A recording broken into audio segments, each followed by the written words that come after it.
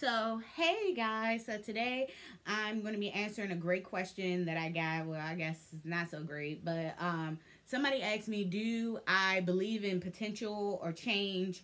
Or, like, do I allow people to come back after they've changed or shown potential to change?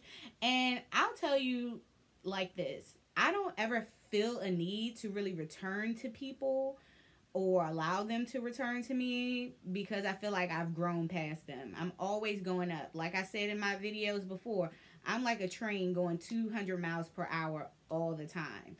I don't really have time to look back, you know? But here's the thing I truly believe that my life is of perfect design and anything that's going to happen for me is already in front of me. I just have to make my way there. And sometimes you truly are acting as a crutch for people who don't want to be their best. You know, when you are sticking around or when you're tolerating someone who um enabling someone to not really be on their best behavior around you or not give their best, then you're honestly acting as a crutch for them. Like you're just this thing that's just something for them to lean on while they're being mediocre, lazy, broke, or um, just not go- doing well in life. And that applies to friends too. Sometimes you have to separate yourself, not only for yourself, but it's the best for them too. And that's kind of how I see it when I do separate myself from people. Is like I think it's the best for me and that other person so that they can get on their grinds too because maybe I was the crutch. Maybe I was the distraction from their potential too. So now I'm going to separate myself to give them that opportunity to reach their full potential. Um also like I was watching a video and um if I can find a link then I will link it below. Um but this guy, he actually became a millionaire after his wife left him. Um, she left him around 28. He said he was 28 and um, the love of his life left him. And he even said himself, he said, I wouldn't have dated my 28 year old self either. I was broke. I had no ambition. I wasn't really doing much. And she found a guy that could take her to nice places um, that could do things and was living well. So he took that as an opportunity when that crutch was released from him. He took that as an opportunity and changed his life. Literally went through this whole process of starting from the bottom and changed his life because he realized when he didn't have that crutch that, oh my God, you know, I, what am I doing? Who am I? How am I living like this? And he literally turned around and did something for himself. And now he's very successful. He's a millionaire and uh, actually ended up remarrying later. But this is exactly how I feel too for even friends and family and stuff. Now, friends and family, because I have great, great friendships and I've had great, great friendships in my life. Um, sometimes you do need to separate yourself from friends to grow because you guys need your own growing processes and everything. Um, it shouldn't be anything too harsh or dramatic like a fight or like they disrespected you or slept with your friend or something. But sometimes you guys can be enabling each other to just be lazy or not really uh dedicating yourself to what you could be doing. So sometimes you do need to separate yourself or just spend less time together just so you can you can both get yourselves off track. That don't mean ghost your friends, but sometimes you really or your family, but sometimes you do need to, you know, make sure that you got yourself good because you you can act as a cancer. That's so funny I'm a cancer. Um, but you can act as a cancer for the people around you and their own growing processes. That's why it's like, you know, it's really good to not be an enabler. And that's basically what all of my work is about from Twitter to Instagram to YouTube. I'm not an enabler at all. And I don't want to attract those followers who want that because there's tons, I'm talking about millions of people online who want enablers. Those are the types of people they are attracted to. Those are the only types of messages that they are trying to hear from whether you are a life coach, career coach, dating coach, relationship therapist, tarot reader, um, astrologer, um, what is some other stuff? They um even you know, I've even seen it with both female and male dating coaches. It's just like trying to enable people or weaken them and not really tell them the truth so that they can they never really make any progress. They just come back for more enabling. So if that's you know you can make a career out of that if you want to because i'm telling you it's a million people you know who who are looking for that. But um yeah you just don't want to do that. You don't want to do that. You want to make sure that you are your best and people around you are on their best so that you are not just holding on to things just because oh this could be a great relationship just if they did this you know? If they really activated their potential. If they actually went out and did this. No.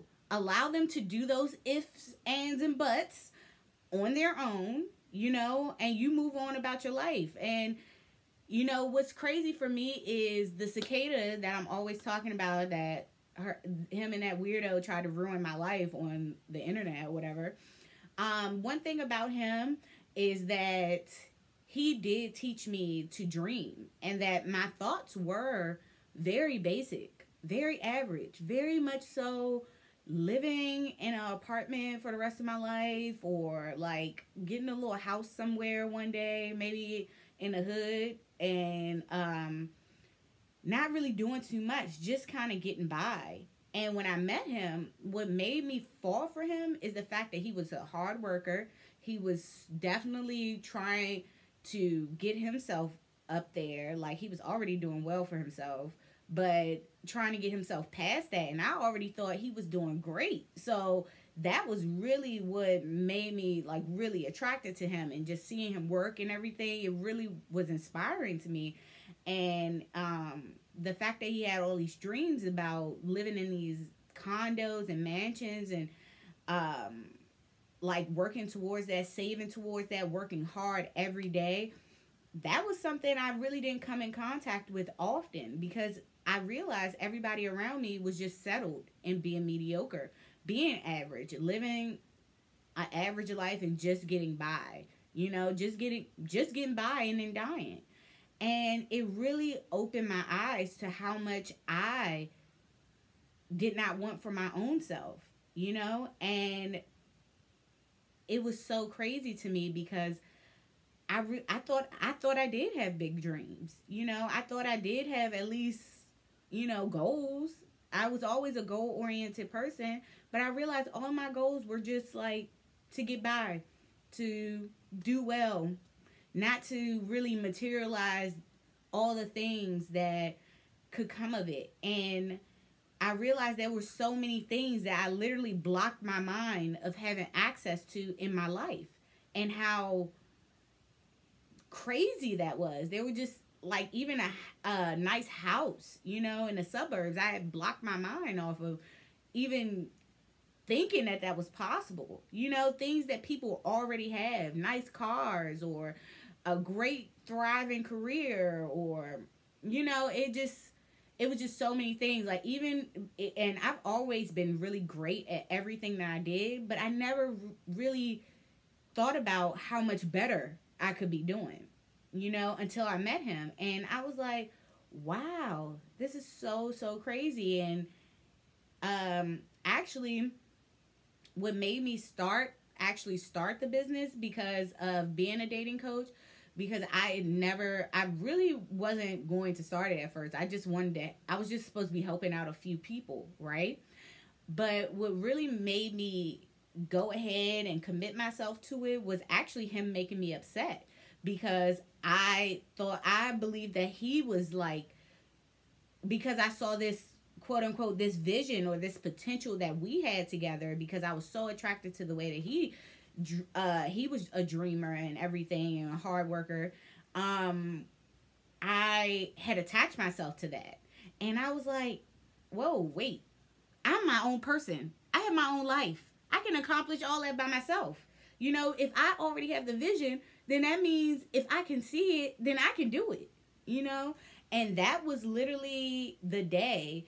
Uh, uh, actually, he made me upset because he didn't show up to something that I had planned for us. And that was the day that I literally launched my sessions on Twitter, actually. And um, from there, it really just took off. But I used all of that anger, all of that potential that I thought he had to bring to my life and brought it to my own life. And like, look at me now. Now I'm like international and growing. So, and this is only the beginning for me because I'm now my goals are bigger, my dreams are bigger, and the potential that I focus on is my own potential. The potential that other people have, they need to show it to me now. Now it's like you need to prove to me that you're more than just a dreamer, more than just a talker. Because there are a lot of people who die and they always and they have like amazing ideas and they never commit themselves to it. So what is making you different? And that's something I ask myself too.